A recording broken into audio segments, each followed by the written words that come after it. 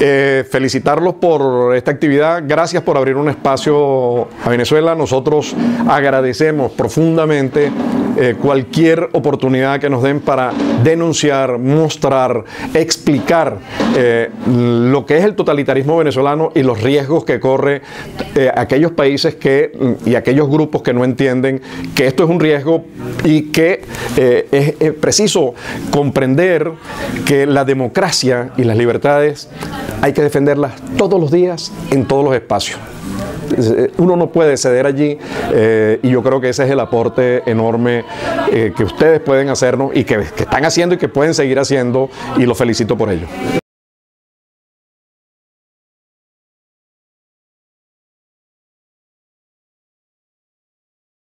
Bueno, el, estudio de la voz de la diáspora fue editado por La Catarata y eso se consigue en la Casa del Libro, en la Librería Central, a través de Amazon por pedidos. Eh, hay varias librerías aquí, me, excuso por no tener los nombres, eh, que, lo, que, lo, que tienen el libro.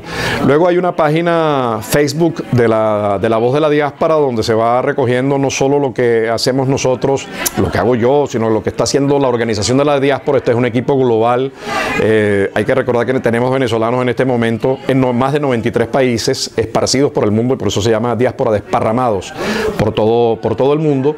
Eh, y luego tenemos un programa de radio que conectamos con Venezuela porque la idea nuestra es estar conectados eh, con Venezuela porque Venezuela lo que se ha hecho es más grande. los venezolanos que están fuera son los nuevos dos millones de embajadores que el país tiene, que lo engrandece, que lo potencia. Y ese programa de radio se puede ver en, internet, se llama la, la, Voz de la Diáspora en buen provecho todos los lunes a las 12 del mediodía hora Venezuela en cualquier parte del mundo.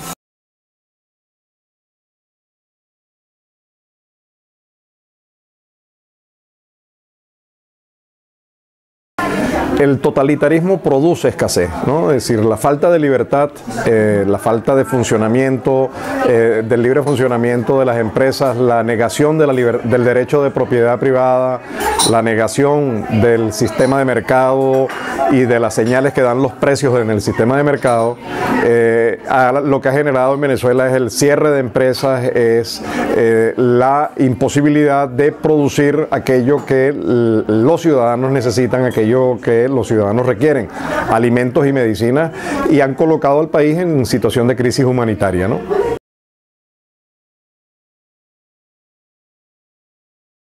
Sí, sí, la, deuda, primero que este eh, régimen cuando inició tenía una deuda, el país tenía una deuda de 30 mil millones de dólares, en este momento supera los 160 mil millones de dólares la pública, pero la privada está por encima de los 32 mil millones de dólares, digamos, se le debe a las líneas aéreas, al sector farmacéutico, etcétera, etcétera. ¿no? Venezuela está en default, ya además ha sido hoy de, eh, admitido así por las grandes eh, empresas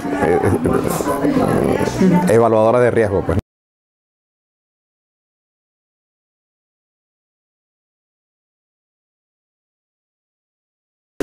El, régimen desde que, desde que comenzó a ejercer, desde que llegó al, gobierno, eh, se ocupó exactamente de ir penalizando y de ir cercenando libertades. Primero el derecho de propiedad lo fue cercenando, eh, se crearon eh, mecanismos colectivos de producción que fueron además un fracaso, se crearon más de 200.000 cooperativas que convirtieron después a Venezuela en el mayor cementerio de cooperativas en muy corto tiempo, luego crearon las empresas de producción social, luego estatizaron empresas, expropiaron, confiscaron, invadieron eh, empresas privadas, fragilizaron el derecho de propiedad, luego cercenaron la libertad de expresión, eh, cercenaron el libre acceso a la información. Venezuela no produce eh, información sobre los niveles de inflación, te tienes que, los tienes que construir a pesar de que es una obligación del Banco Central de, Venezuela.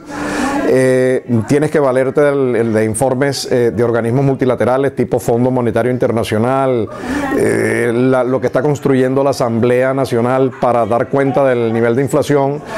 Eh, no se produce información sistemática por parte del gobierno del número de homicidios, secuestros, hurtos, robos, agresiones de género. Eh, no se produce información sobre la cantidad y el volumen de la diáspora venezolana en el mundo. Tienes que recurrir a terceros para buscar la información. Eh, entonces es un cerco a la libertad de expresión, es un cerco a la libertad privada, es un cerco a la propiedad, es un cerco al funcionamiento en el mercado, porque el mercado es más que intercambio de bienes y servicios, el mercado es un espacio en el que se intercambian conceptos, ideas y se construye conocimiento. Eh, entonces es un cerco a la innovación tecnológica, es un cerco al desarrollo, es una, verdadera involución y eh, es un desprecio por, por la gente. En, en el vocabulario del totalitarismo no existe la noción pluralidad o libertad de expresión y por eso quien disiente es apresado y en el caso venezolano los presos son políticos y al mismo tiempo rehenes que se canjean de acuerdo a las circunstancias, eh, se utilizan como valores de cambio eh, mm, y entonces tenemos mm, presos, mm, eh, heridos, las agresiones que ha habido de parte del gobierno a las manifestaciones pacíficas, pidiendo elecciones, pidiendo el ejercicio, pidiendo sus derechos y el gobierno responde con, con armas. Bueno, porque estamos en un gobierno que es militar en modo 18 y cívico en grado 6, ¿no? Digamos, las dimensiones, y es lo que soporta el régimen, ¿no?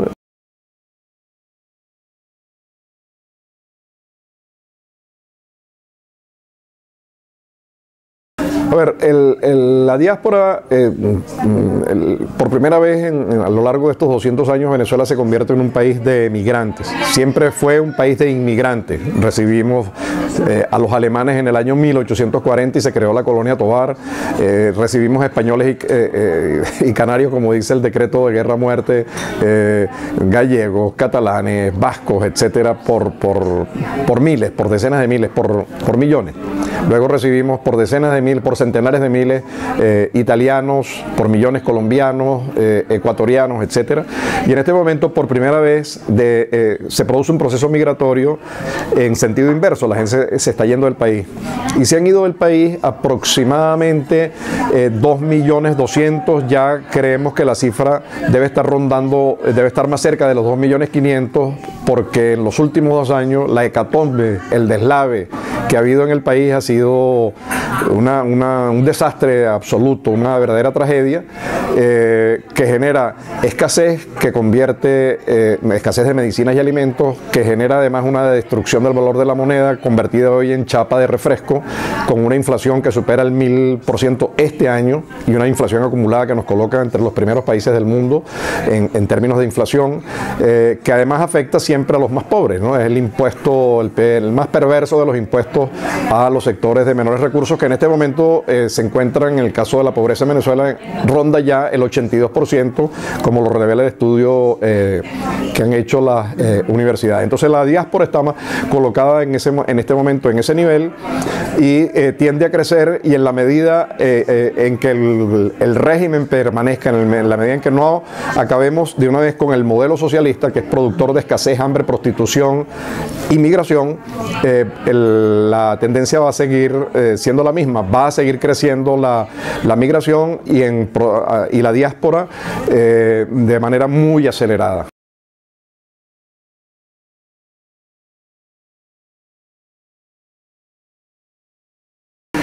Mira, no, me dejaste terminar antes la idea del, papel de la diáspora.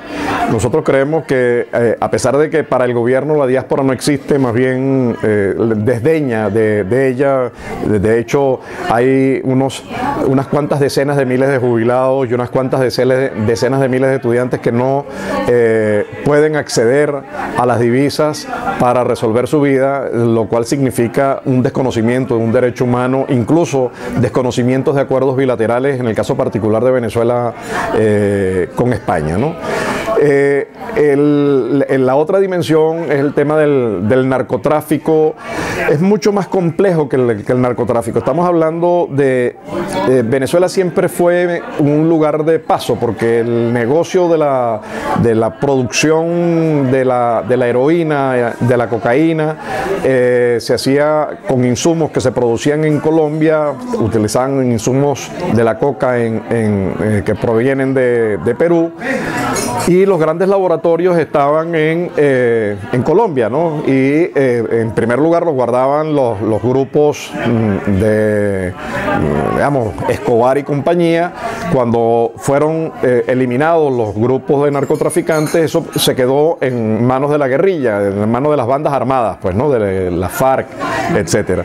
Entonces Venezuela era un lugar de paso, de la, era un lugar por su ubicación estratégica, porque le queda, eh, por ahí puede salir directamente hacia el norte, que es el más importante eh, mercado. Y la otra vía es eh, México. Entonces, creo que allí lo que ha ocurrido y lo que se ha venido denunciando en el mundo con nombre y apellido, lo que ha hecho Colombia, lo que lo ha hecho Canadá, lo ha hecho Estados Unidos, lo ha hecho la Unión Europea, señalando responsables de, estar participando en los carteles venezolanos involucrados, del alto gobierno involucrados en, ese tema, denunciados con nombre y apellido por estos países.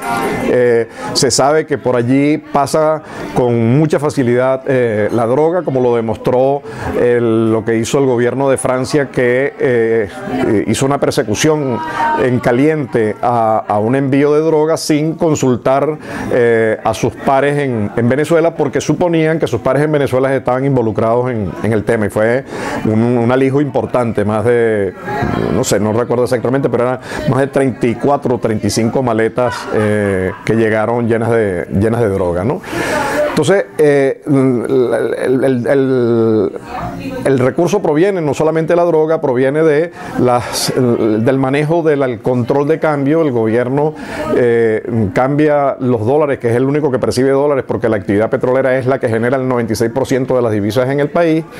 Eh, esos dólares luego los revende en el mercado a, con un diferencial, para que tenga una idea, 10 bolívares en el mercado oficial, 60 mil bolívares en el mercado negro, que es el único mercado eh, que existe, que es el único mercado. Entonces esa ganancia eh, se la quedan aquellos que están, los que uno llama los emprendedores sanguijuelas, ¿no? Que se articulan, a, entonces fungen como testaferros, socios, etcétera, y comienzan a lavar dinero en, todo el mundo, ¿no? y uno de esos sitios donde se está lavando dinero es en España.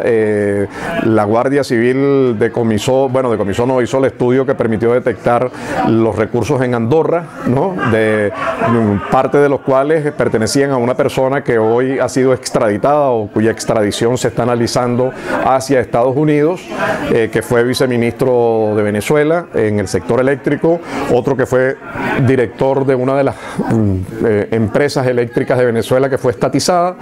Eh, entonces, mm, el, tema no es solamente narcotráfico, tráfico y, lavado de dinero, sino que también tiene que ver con corrupción y lavado de dinero, ¿no? Y eso está ocurriendo y hay que, eh, bueno, hay que hacer un seguimiento porque con parte de esos recursos que son de los venezolanos se están afectando los derechos humanos fundamentales, digamos, ese hurto ha impedido utilizar recursos para las medicinas de los venezolanos, ese hurto ha impedido que además son recursos de todos los propiedades de todos los venezolanos, eh, le han metido la, el en la mano en el bolsillo a todos los venezolanos lo han, los han desfalcado, eh, pero además le han impedido mejorar sus condiciones de vida, afectando entonces los derechos humanos fundamentales del hombre.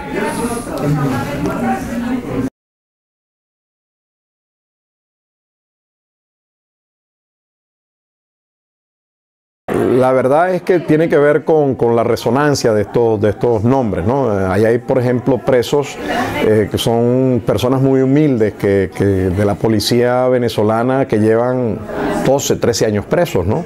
Y que tampoco aparecen, y ese es un esfuerzo, yo creo que eh, hay que sacar los nombres de todos los venezolanos, eh, hay organizaciones no gubernamentales que lo están haciendo, que están repartiendo esta, la información en universidades, en, posgrados, eh, se los entregan a, periódicos. Lo que pasa es que yo me imagino que, con el tema de la noticia eh, se está manejando de manera inadecuada. Pues no, creo que eh, Venezuela tiene muchos presos, mm, más de, más de 300, y por supuesto estás tocando aquellos que tienen más relieve, pues, ¿no? que son referencias políticas, que son importantes. ¿no? No, creo que no es un, hecho de deliberado, una cosa, sino que es, es, como, un manejo inconsciente de este tema y habría que prestarle más atención.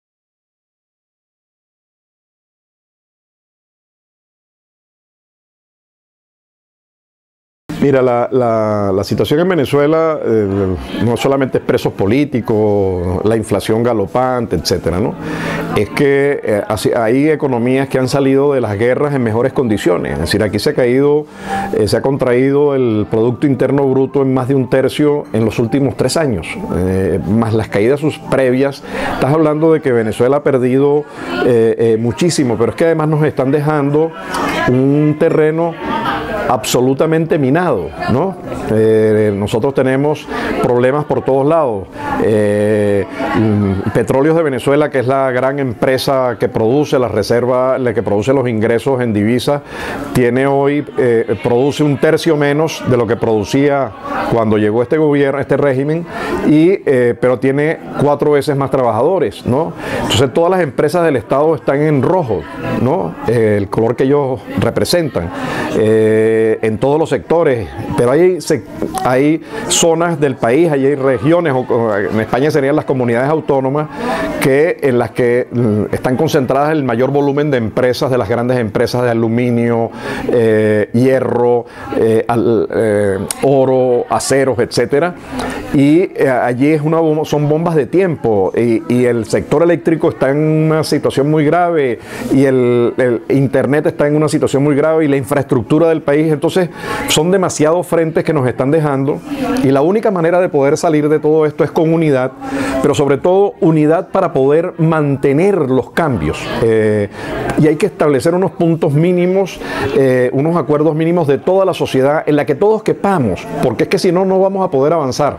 Eh, quien pretenda avanzar de manera aislada se va a encontrar con un hecho, que es que tiene minas por todos lados a punto de explotar, además, ¿no? En el caso del agua, por ejemplo, el suministro de agua es un, tema muy terrible. Hay zonas del país en, los que, en las que eh, el agua es casi un objeto de contaminación, digamos, ella misma contamina la sociedad, como es el caso del lago de Valencia y los habitantes que viven en esa ciudad, pero están reapareciendo enfermedades que Venezuela eliminó primero en todas las Américas. Está apareciendo la, la difteria, el paludismo, etcétera. Entonces nos estamos enfrentando en el campo educativo, en el campo de la salud, en el campo de las infraestructuras, y eso no se puede resolver si no es con mucha eh, mucho consenso y con mucha unidad.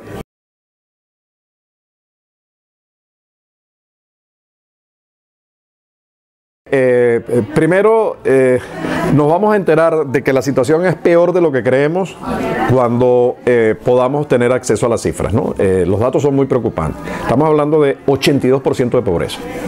eso no se soluciona. tú puedes cerrar perfectamente una empresa en media hora. Abrirla te requiere tiempo y además creación de condiciones. Luego tienes un tramado legal muy pesado. Digamos, aquí se, las leyes van desde control de precios hasta qué destinas para el apoyo a, a B, a C. Digamos, el tramado legal, las 200 leyes poderosas. además tienes los consejos comunales, eh, que son dispositivos que han creado. Eh, eh, esto requiere tocar el piano con, las 10 con los 10 dedos y manejar la zurda y la derecha. Digamos, hay que, hay que manejar todo. ¿no? No, esto no es, aquí no hay pastillas simples, aquí no hay recetas de paso uno, paso dos. Hay varios grupos que están trabajando en Venezuela y en el mundo en qué es lo que hay que hacer. Se ha estimado que vamos a necesitar apoyo de los organismos multilaterales entre 60 mil y 100 mil millones de dólares para poder, eh, bueno, tienes que, tú no puedes dejar a la gente sola, digamos, y la gente necesita medicinas y las medicinas de la ayuda humanitaria te la van a dar por dos meses, tres meses, pero tú no puedes mantener, no puedes vivir eh, recibiendo ayuda y las, medicinas cuestan y hay que darle a la gente lo que hoy no tiene y tienes siete venezolanos casi de cada diez están entre la, en la informalidad del desempleo. Eso no se resuelve fácilmente, eso necesita... Entonces aquí yo creo que hay grupos trabajando muy serios eh, que están además metiéndose en las estadísticas, eh, tratando, sabiendo que son imperfectas, pero, pero, pero que todavía nos faltan datos, pero están mm, eh, trabajando seriamente, porque tenemos que hacer cosas en salud y hay que hacer inversiones, ah, pero esas inversiones hay que necesitan recursos. Y tú no le puedes decir a la gente que pague lo que no tiene cuando la inflación está en mil por ciento, ¿cómo haces para controlar la inflación? ¿Cómo haces para eliminar el control de cambio? Con qué te apoyas para hacer esas, eh, bueno, todas esas cosas las están pensando distintos proyectos y eh, todos indican que es muy difícil eh, hacerlos, que vas a necesitar apoyar a sectores amplios, no pequeños, amplios de la población por un tiempo, porque es que si no, el, el cambio no puede avanzar. Si tú no puedes llegar ahorita a decirle a 170 mil trabajadores, 140 mil, mira, váyanse, ustedes no trabajan más acá, eso no lo puedes hacer, eso te mata eh, cualquier proyecto. Eh, necesitas eh, avanzar sabiendo que estás como elefante en cristalería, pues no, que cualquier error se cobra carísimo.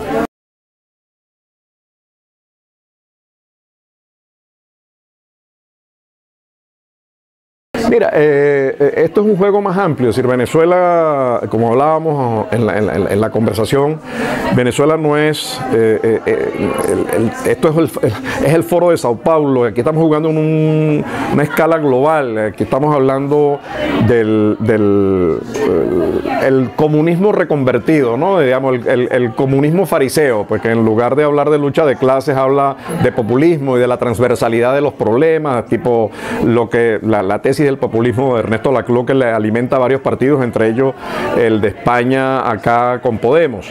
Eh, entonces eh, eh, tienes al foro de Sao Paulo atrás, tienes Rusia está jugando. Fíjate que, eh, que, en estado, aunque no es ayuda en términos económicos, porque tampoco Rusia está en buenas condiciones, porque está afectado por el tema petrolero y la mala gestión, quienes se retratan en Naciones Unidas son los rusos y los chinos, y los chinos han hecho una inversión, tienen unos préstamos mil millonarios que, que intentarán recuperar de alguna manera, ¿no? De lo que le han prestado al gobierno de Venezuela para que haga campañas electorales, porque al final ni siquiera ha servido para, resolver cosas de fondo en el caso venezolano. Entonces, sí, este es un juego mundial en el que Cuba tiene una relación importante porque eh, el, gobierno venezolano tiene una relación extraña con, digamos, que es más digna de análisis psicológico y psiquiátrico que de análisis eh, eh, económico y político. hace, yo publiqué hace poco esa extraña relación. En general, los países que ponen los recursos y Venezuela en el caso de Cuba los está poniendo, eh, pone el petróleo, eh, Venezuela se desvive para que los cubanos tengan, el gobierno cubano tenga los 100 mil barriles que, piden, mientras todo el Caribe eh, redujo a la mitad la, cantidad de petróleo que perciben por, por todo el tema de la crisis de precios que aún están elevados eh, por encima del histórico en Venezuela, pero que la gestión del totalitarismo que al final centraliza y estatiza, lo que ha hecho es destrozar. No hay empresa del Estado que esté en número. Entonces, todo esto está vinculado con ese modelo global que no se queda en Latinoamérica, que tiene expresión en, España, con, con, la gente clarísima de Podemos, que es la franquicia del gobierno venezolano en España, que tiene expresión con Melenchón en Francia, que tiene expresión en las universidades y centros de investigación, que, llega, eh, que es una red mucho más compleja que la simple relación de Venezuela con Cuba, es un tramado internacional que en el caso de Latinoamérica se extendió en un primer momento por los lados de Brasil, Argentina, Bolivia, Ecuador, Nicaragua, eh, intentó desestabilizar en México con, la llegada, con la posible llegada eh, de la etcétera. Digamos que, que, la cosa es mucho más compleja que es un juego global en el que Cuba es una pieza importante del comunismo global, pues, ¿no?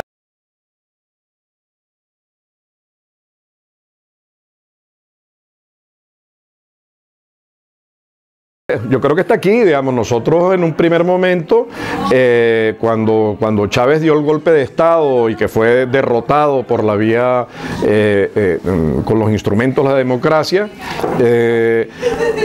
la, cosa estaba, uno creía que la cosa estaba bien y uno repetía a cada momento, no, Venezuela no es Cuba, Venezuela no es, no es una isla, Venezuela es un país desarrollado, Venezuela tiene recursos que le interesan a un gran aliado que es Estados Unidos, Tenemos un socio cercano que es Colombia, con un flujo comercial fronterizo importante de, de 6 mil millones de dólares, y nosotros decíamos eso, ¿no? Yo siento que eso mismo se dice en España, ¿no? No, no España no es, España no es Venezuela, España tiene la Unión Europea, España tiene unas normas, etcétera. Bueno, y ahí está ocurriendo lo que estamos viviendo en Cataluña, ¿no? donde hay unos ciertos sectores que no solamente quieren eh, eh, eh, independizarse, sino que, quieren independizarse de España, de Europa, del euro, que son los, los digamos, los procomunistas, pues, ¿no? que quieren romper con, con todas las reglas del sistema de mercado y de la empresa privada. ¿no?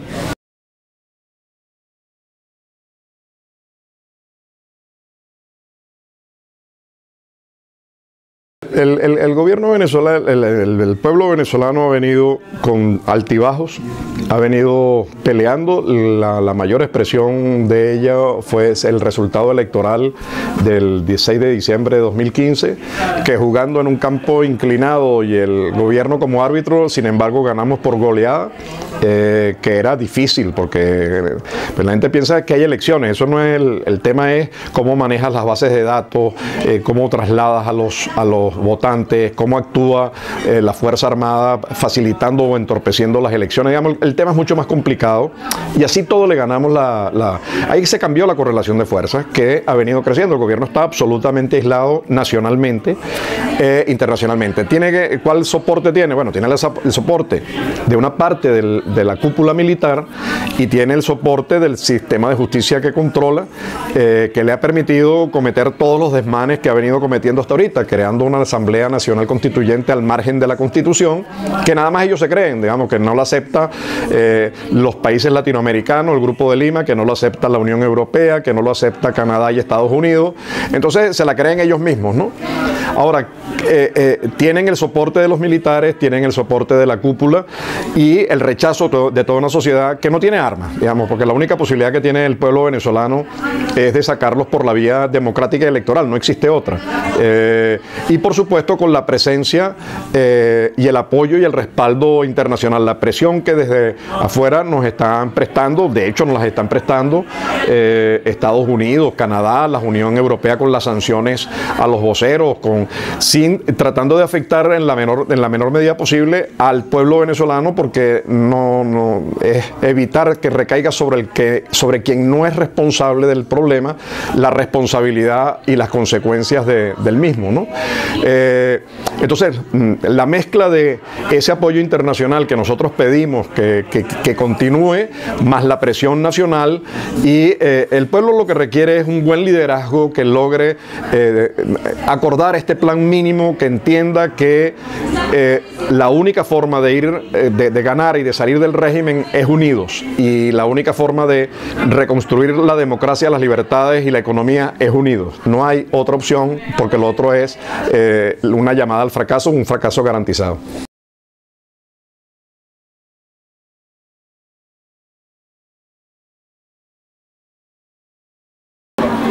Mira, eh, yo creo que esto hay que verlo, no, hay que esperar que las cosas te produzcan el resultado inmediato, ¿no? Eh, pues esto eh, tiene que ver con la justicia internacional, tiene que ver, pero ha venido de manera sistemática, se ha venido documentando los casos del horror, los presos políticos, las sanciones, las agresiones, las agresiones a los medios, a las universidades. Hay cada vez más datos. las últimas declaraciones, la última, lo que acaba de hacer la que fue fiscal general de la República de Venezuela, que fue además, nadie puede decir que no era adepta al gobierno, era miembro del gobierno eh, y que hoy haya pasado a la, oposición, haya pasado a denunciar, e indica que, eh, bueno, que, estamos, que la sociedad está buscando un espacio porque mm, la única forma de, eh, mm, crecer es sumando, digamos, cuando nosotros fuimos, si vemos el primer resultado, electoral, nosotros sacamos el 40, cuando digo nosotros es la sociedad eh, que no votó por Chávez, sacamos creo que 44%. Chávez sacó el 56% y en las distintas elecciones mantuvo de alguna manera un porcentaje elevado. Cuando la cosa cambia, y la única manera que cambia es que aquellos que votaron, que aquellos que estuvieron con el gobierno, hoy no lo estén, ¿no? Y, bienvenidos los que no, los que estuvieron con el gobierno y hoy no están, eh, hoy estamos eh, mm, mm, viendo cómo personas que antes eran eh, referencias, los exministros que han pasado a la, a la oposición o, o, al consenso nacional más bien, ¿no? miembros del partido político del gobierno que han generado rupturas, que se han salido, que se han desmarcado.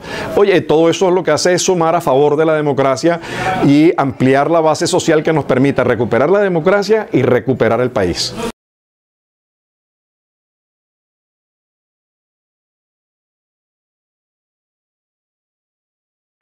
Eh, yo creo que el partido lo vamos ganando. Eh, tenemos que evitar meternos nosotros los goles. Eh, y la, la, manera de evitar meternos los goles es poner un poco de orden y entender, sentarnos y entender que unidos es la única manera y es la única forma que tenemos de salir del totalitarismo, que repito, no es solo Venezuela, es una red global que está jugando duro y que en Venezuela se está desarrollando la vacuna en contra del totalitarismo que va a ser muy útil no solamente para, eh, Latinoamérica, sino también para Iberoamérica e incluso la Europa eh, eh, latina, donde hay muchos riesgos mm, mm, de, que, de que ese virus del totalitarismo crezca.